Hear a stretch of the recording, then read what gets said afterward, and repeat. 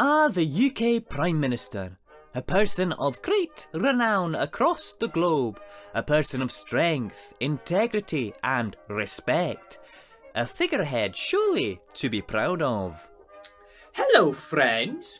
In this video, I, journalist and presenter Gregor Barnsdale, will be providing 9 top tips to get you to number 10 Downing Street. Hello, BGB. How are we? Aye, not bad. Beautiful. Yes, that's right. Both BGB and I will be showing you exactly how to one day land the top job yourself. To achieve this, I will be referencing the political rise of our current PM, Alexander Boris de Pfeffel Johnson. Top guy. Indeed. Even further, the man of many names will be visually represented by our new caricature friend, Little Johnson. Hello, Little Johnson. Yes, hello. And how are we today, Little Johnson?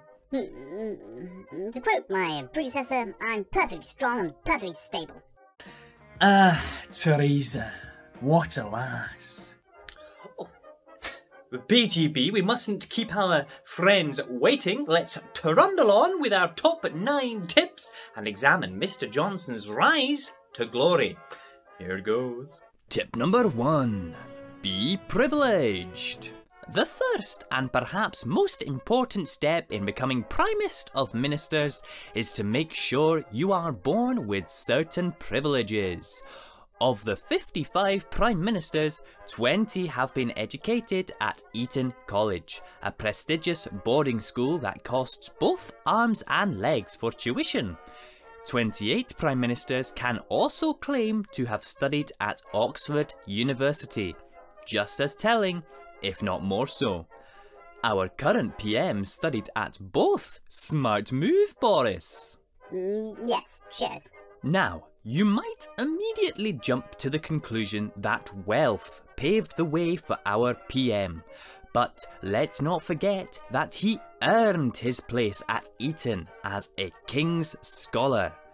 This means his Eton fees were significantly reduced. Well done, Little Johnson. It seems hard work really does pay off. Mm, I'm brilliant. But wait. BGB? Bojo Jojo earned that scholarship for excelling in Greek and Latin at Ashdown House, another boarding school with a fairly costly entry. Well, yes, that's true, but he still had to work very hard to get into Oxford. And he only went and smashed it by getting yet another scholarship in classics, ancient literature, and classical philosophy. There's a lesson for you, Jackie from Mansfield. Best brush up on your Latin. Mm, ego posh. Now, we're not here to tell you that this is the only route you can take. After all, our Prime Ministers have exclusively studied at other universities a whopping five times. We're just saying it really bloomin' helps to have that gentle head start in life, so that we all too can learn dead languages instead of inhaling coal down a mine. To summarise, either be a, a womb-laden business mogul with enough spare cash to fund your education upon birth, or simply choose the correct mother to spring out of. Once that's done, definitely go to Eton, then end up at Oxford University because you'd be silly not to. Cambridge is a good second place, but don't tell them that. Tip number two Own your privilege. But privilege alone does not guarantee success, oh no. A top education is nothing without using it correctly. Our man, Mr. Johnson, recognised his good fortune and instead of running from it, he doubled down on his elitist eccentricity to a level of actual comedic value. Yes, quite right, quite right. This has resulted in an air of authenticity that can be clung to and tells us, the voter, he's a wee bit different from the toffs in his former classroom. If he's not quite one of them, he must surely be one of us. The top tip here is to avoid claiming you're better than everyone else, instead, just live it. Like Boris, make it all part of a big joke and wear your class with bumbling pride. In the end, he knows he's privileged, He knows we know he's privileged, so what's the point in hiding it? We're all flawed in some way or another, might as well be honest about it. Tip number three don't be honest. Oh, though, contrary to the previous point, it seems not being honest might also be absolutely fine. Not only did our Prime Minister get the sack from the Times for telling a wee fib about his own godfather, he also promised to give up his political ambitions entirely upon becoming editor of The Spectator. Needless to say, he did not do this and in fact fostered the highest ambition in the land. Hmm. Bonking Boris also got pulled from his shadow arch minister position in the Tory party way back in the early 2000s. Apparently, he had a, a cheeky affair and wasn't entirely truthful about it. My hero. You know, it's quite funny to think about that when our former PM, Theresa May, had regular Tory scandal updates brought to her. To think she went through all the effort only to be succeeded by a man who's got more mystery children than King Robert Baratheon. Oh, the irony. But lastly, to further prove that telling the odd untruth isn't really all that bad, there's even an entire website dedicated to our Prime Minister's other supposed porkies. As we can all see, it hasn't hurt his career very much, so you're free to lie to your heart's content. Tip number four pick a lane and ride it harder than a Boris bike. Have you ever found yourself saying you believe one thing only to totally go in the other direction? Never. Well, get used to it, because despite giving the same opinion on numerous occasions, you can, in fact, break free of previous constraints when duty calls. Take our eminent blonde bombshell Boris as an example. Despite several times sharing a view that seemed in favour of the European Union, he then chose to practically lead the opposing side in the Brexit referendum. And boy, did he lead it like a trooper. I've put an article down below for you to read the full story of Boris's EU lane changing, but what does this tell us about getting into number 10? Well, perhaps the lane we are currently travelling on just simply isn't our forever lane. Sometimes something more attractive might lure us away. In the end, we're all human, prone to mistakes. Surely no one would expect us to honour our, our word when the top job is on the horizon and there's hearts of a nation to capture. Lesson here then Never ever fully commit to anything, it might just limit your chances. Tip number five be a rampant quote merchant. Not only does Boris have an interesting history with Europe based quotes, he also has a backlog of absolute zingers that prove why having a good one liner is a great way into number 10. Now, there will be a few examples dotted within this list, but for the sake of the children, and because context matters, quite a lot of Mr. Johnson's wordsmithery won't be repeated here willy-nilly, oh no! However, to give an initial example, the following is a watered down version of what Boris said to convince people to vote for his party back in 2005. Voting Tory will cause your wife to have bigger watermelons and increase your chances of owning a BMW M3. Ho ho ho, little Johnson. Well, with Boris finally in power of the Tories, and with the Tories quite firmly in power, I fully expect Boris to be posting a new beamer through my letterbox.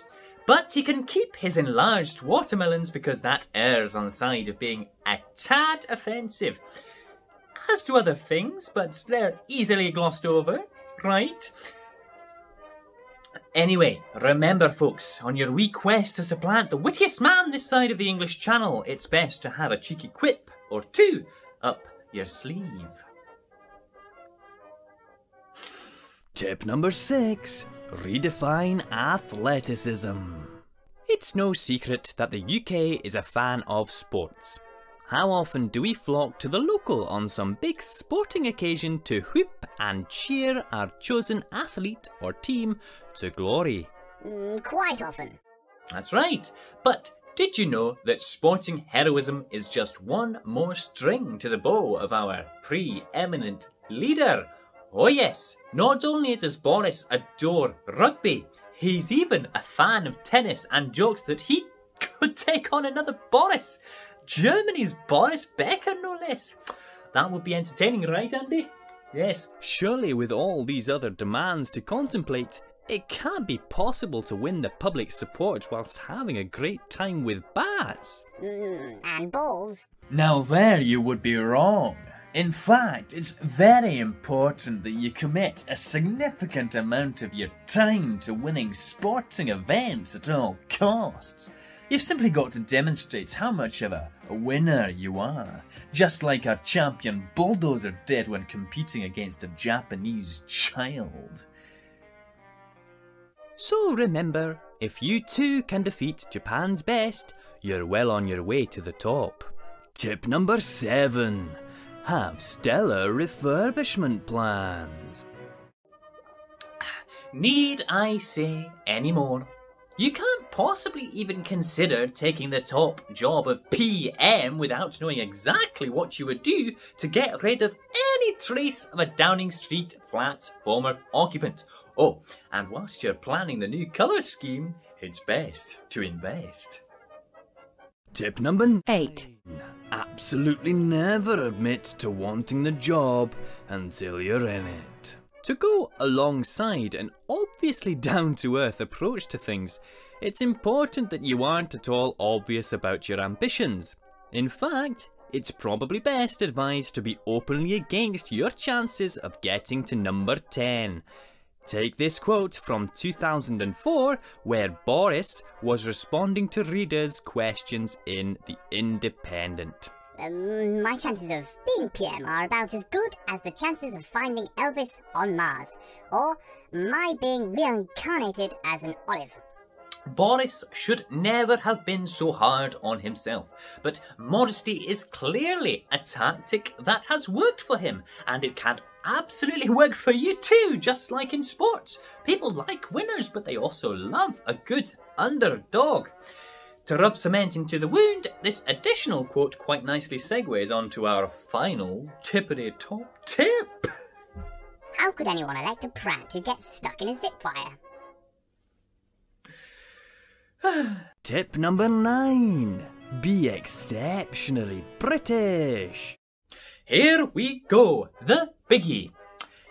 Whether it be a classy British accent or an unwavering devotion to British values, in the race to number 10, it's almost impossible to get anywhere without some element of national pride. Though, before we proceed, it must be noted that Ironically, the stalwart British value of queuing seems to only apply if the person in front of you in the race to number 10 is okay with performing the titular character in a performance of Julius Caesar.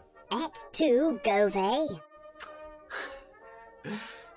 Our Mr. Johnson is a master of patriotism and is perhaps best known for his partaking of iconic British activities like flag waving, preferring a red London bus, and appearing on Have I Got News for You?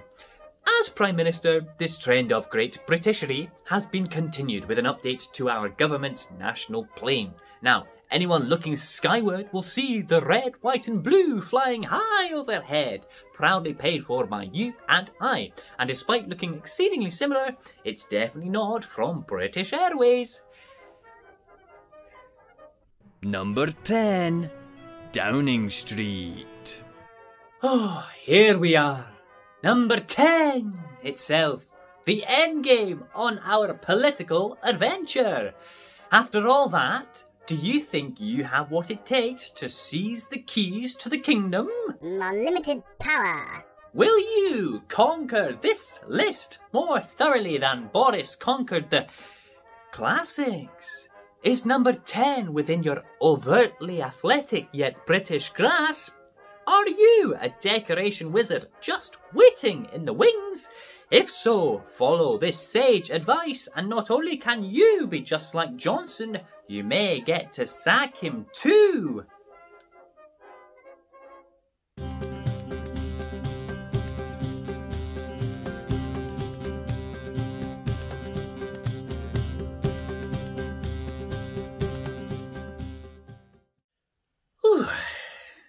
Well, what to do now?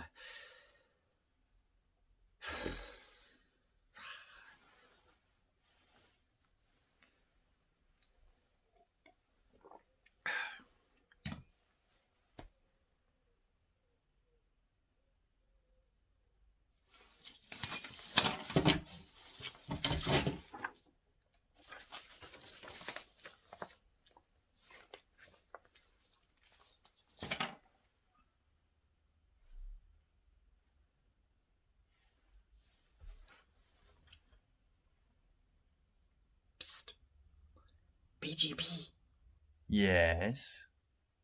when's the next election?